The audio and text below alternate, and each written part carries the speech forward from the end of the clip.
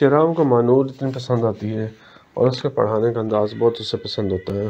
وہ اس کی تعریف کیے بغیر نہیں رہ پاتا۔ وہ مانور سے کہتا ہے کہ تمہارا پڑھانے کا انداز اتنا اچھا ہے کہ میرا دل کرتا ہے کہ میں بھی یہاں بیٹھ کر تمہاری کلاس لوں اور میں ایک اسٹوڈنٹ بن جاؤں۔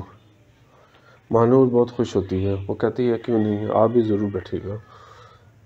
آہستہ آہستہ ان دونوں کے درمیان میں محبت کی کہانی آگے بڑھنے لگتی ہے۔ لیکن زینت کو یہ باتیں اچھی نہیں لگتی۔ وہ پوری کوشش کرتی ہے کہ وہ شہرام کو اپنی مٹھی میں کرے اور اسے اپنی محبت کا یقین دلائے۔ لیکن شہرام کیونکہ مانور سے محبت کرتا ہے، اس لیے وہ زینت کا اپنی ارد گرد رہنا اور مٹ اس کی خدمت کرنا اور اس کے کام کرنا اچھا نہیں لگتا۔ وہ اسے صاف صاف کہہ دیتا ہے کہ آئندہ تمہیں میرے کام کرنے کی ضرورت نہیں اور میرے آس پاس پائے جانے کی ضرورت نہیں، میں یہ برداشت نہیں کر سکتا۔